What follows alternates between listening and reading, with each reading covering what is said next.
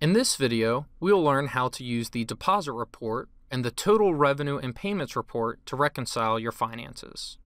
Before you create manual journal entries in your financial system, you need to reconcile the transactions and deposits in Altru. Let's start by running the deposits report. If you have set up a job schedule to run the deposit process, you can simply run the deposits report.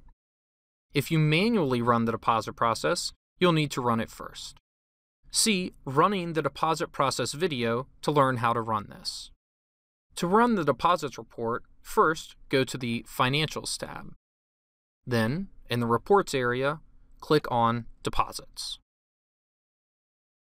In the Date to Use field, select Deposit Date. In the Date field, select Specific Date and enter the date you want to reconcile. Select the Summary checkbox.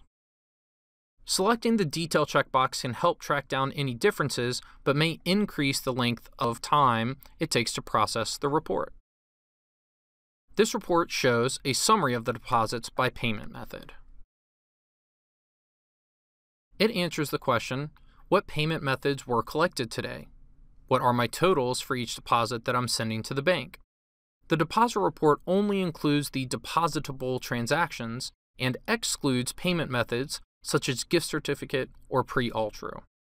This report also shows corrections from cash drawers being closed with an over or short amount. Next, let's run the total revenue and payments report.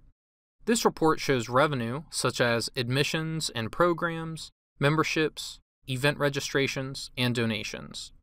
This report is dynamic and does not provide a static view of data over time.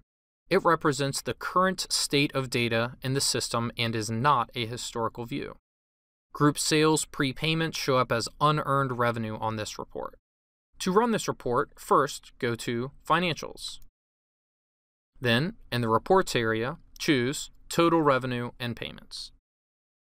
In the Date field, choose the same date you chose for the deposit report. If you collect taxes and security deposits, select the checkboxes for including taxes and include security deposits, respectively. Check the box that says Show Payment Method Distribution. This will break down the data by payment method for easy comparison against the deposit report. Do not select Include Pledge Commitments Not Received and the Show Revenue that moved from unearned to earned because doing so will overstate the report by the amount of the outstanding pledge installments or group sales. This report breaks down all of the revenue collected for the day. It answers the question, what did we collect today's payments for? The totals on the top section and the bottom section will match.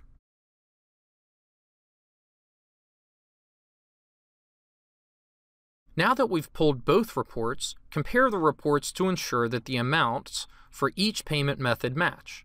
If they do, you can use the report as the source documents for making a manual journal entry into your financial system.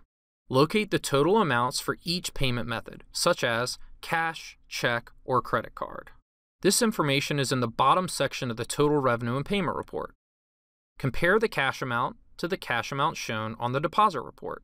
Repeat this for all payment methods.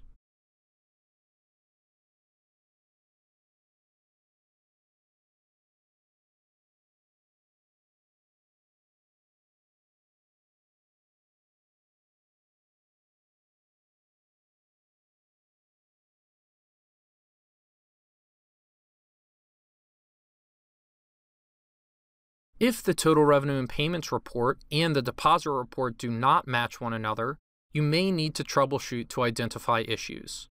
Common causes for discrepancies between these reports are drawers were not closed and approved, the total revenue and payment report shows non depositable revenue, such as gift certificates, or incorrect report settings.